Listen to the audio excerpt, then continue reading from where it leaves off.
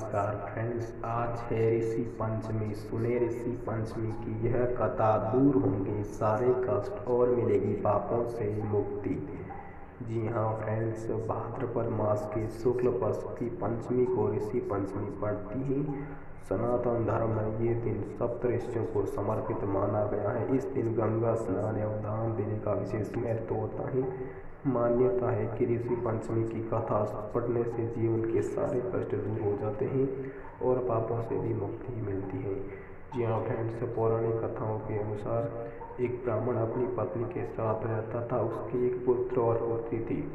उन्होंने अपनी पुत्री का विवाह यशोयु के लड़के के साथ कर दिया, लेकिन कुछ ही दिनों के बाद उसकी पति की अकाल मृत्यु हो गई। इसके बाद उसकी पुत्री मायके आ गई। एक दिन उसकी पुत्री अकेले सो रही थी। तभी उसकी माँ ने देखा कि बेटी के शरीर पर कीड़े उत्पन्न हो रहे हैं। ये बात उसने अपने ब्राह्मण पति को बताई। उत्तर ब्राह्मण ने ध्यान लगाने के बाद देखा कि पूर्व जन्म में उनकी पुत्री ब्राह्मण की पुत्री थी, लेकिन राजस्वला महामारी के दौरान उसने पूजा के बर्तन छू लिए थे इस बात की वजह से ये कष्ट मिल रहा है।